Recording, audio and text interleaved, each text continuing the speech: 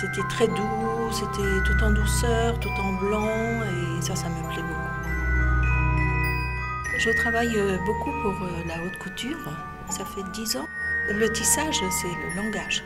Donc lorsqu'on tisse, euh, il y a la chaîne et la trame.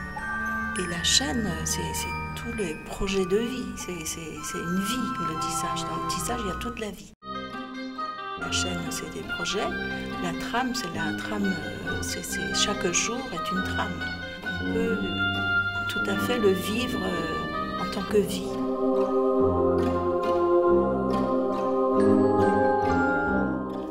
relié à la musique. Donc je remercie aussi beaucoup la musique, dans le sens où je tisse les partitions. Donc je mets les partitions sur le métier à tisser, parce que le métier à tisser, ça lève, ça baisse. De, similitudes avec, euh, avec un instrument de musique. Le tissage devient musical. Beaucoup de, méditation parfois. C'est du pur bonheur en fait. Donc je transmets ce bonheur en fait à mes élèves. Je voyage aussi avec mes tissages. Donc je fais des rencontres. Et rencontres c'est du tissage.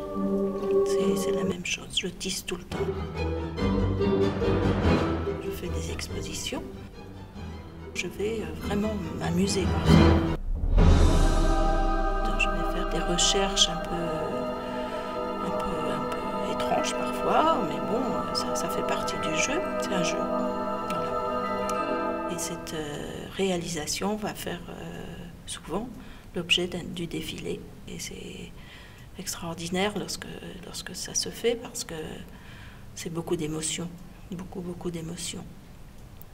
Et, euh, et je continue.